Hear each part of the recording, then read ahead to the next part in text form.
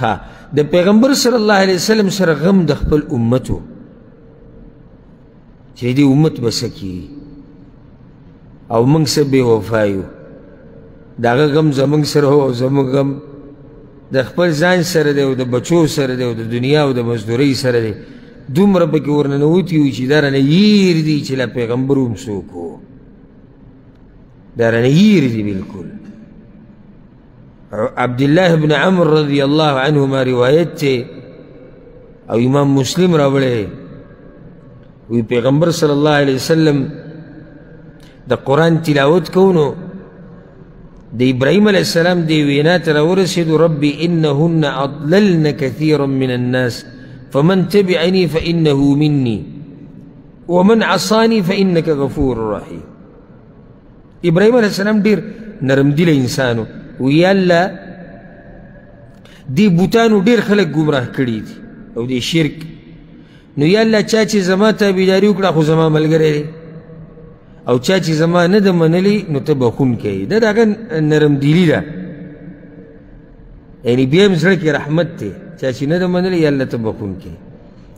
بیا د عیسی علیه السلام دا خبره ولوسته چې الله په سورة المایده کې ذکر کړې ده ان تعذبهم فانهم عبادک یا الله که ته عیسی علیه السلام به وایي و یا الله که ته دوی له عذاب ورکې نو خو ستا بندګان دي تا نه خو څوک تپوس نه شي کولی و ان تغفر لهم او که ته یې بخښې فانک انت العزیز الحکیم ته ښه زورور باچا یې و ان تغفر لهم بخښنې طرف ته اشاره وکړه د عیسی علیه السلام ډېر نرم دلی انسان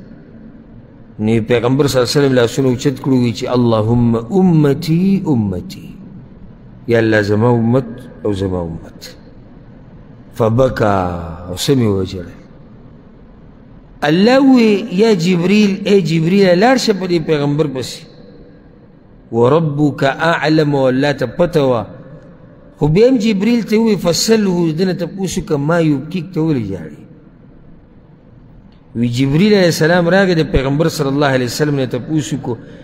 چې الله وی ما یو کیک ته ولې جاړې نو پیغمبر صلی الله علیه وسلم ته وی جاړم د خپل امت ته لاسه دوی د پاره جاړم چې زما د امت باخرنه انجام شي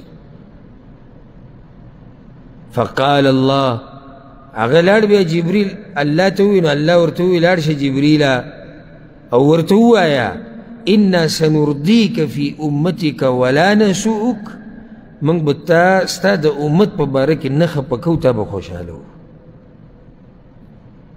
ووایه ده ته چې الله دا وایي چې موږ به تا ستا د امت په باره کې نه خفه کوو تا به خوشحاله وو تا به راضي کوو داسې څه به ته وینې د قیامت په ورځ چې ته به خوشحاله شي ته به خفه کېږې نه نو دا هغه انسان دی چې د سره غم د امت دی خو سوال د امت نم دا دی چې تاسو سره غم د دې پیغمبر شته غم د دې پیغمبر د طریقې د سره شته چې را ما چې را کم کار وکړو دا د پیغمبر په طریقه و او که نه دا زما د شکل دا زما د لباس زما د لین دین زما د خبرې دا د پیغمبر په طریقه دي چرته یو ورځ دې لاس داسې اوچت کړي چې یا الله د دې پیغمبر سره مې جنت کې یو ځای کړه چرته را یاد شوی دی تا ته ځان له ناسې او په ژړا شوی پسې او د هغه غم او فکر ته وګورې چې زما او ستا دپاره ژاړي او دا زمونږ دپاره لوی شرف دی چې الله زمونږ رب دی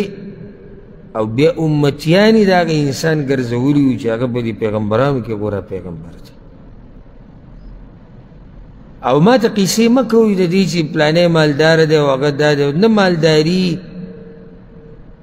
او نه ډېر جیداد او نه ښایست او نه زور دا د یادولو خبرې نه دي یادولو خبره دا ده چې الله زمونږ رب دی او دا دومره اوچت انسان زمونږ پیغمبر دی صلی الله علیه وسلم دا د یادولو خبره دا د بیانولو خبره ده مال دی او جیداد دی او سپین دی او تور دی او زورور دی هر څه ځان سره جیب کې کېده د تر هغه وخته پورې فایده نه درکوي چې څو پورې د الله دین دپاره نه استعمال کړي خبره ټوله دا ده بنیادي خبره دې له راشي د یادولو خبرداری چې الله په موږ دومره لوی رحم کړی